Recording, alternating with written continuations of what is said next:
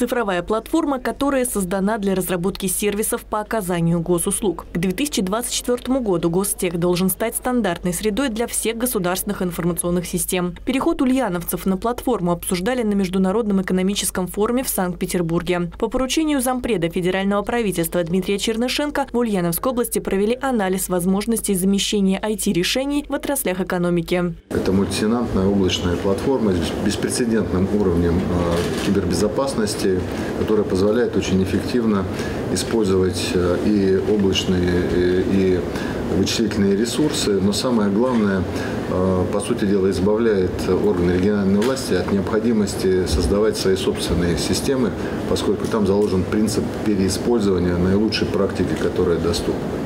Тем самым, по сути дела, Ульяновская область является одним из лидеров э, цифровизации. Дорожная карта по переходу на новую платформу уже подписана. Сформирован перечень из 15 IT-компаний, кандидатов на разработку решений для индустриальных центров компетенций. Алексей Русских подчеркнул, что внедрение гостеха позволит повысить информационную безопасность, сэкономить бюджетные средства, а также повысить цифровую зрелость региона. Ульяновской области также удалось подписать соглашение с Республикой Калмыкией. Губернатор Алексей Русских глава республики Бату Хасиков обсудили развитие межрегиональной кооперации, в том числе логистику, инвестиции и спорт. Нам надо посмотреть сейчас, какие э, значит, э, треки могут быть интересны регионам.